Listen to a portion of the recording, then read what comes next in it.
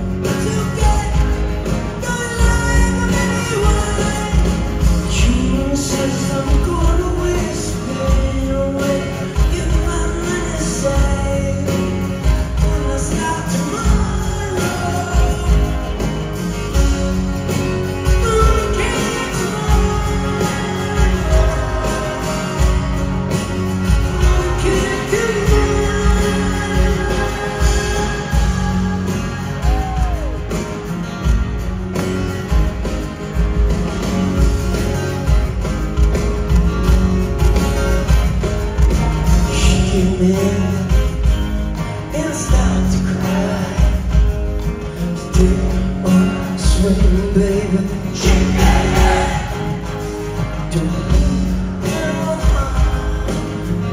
just doesn't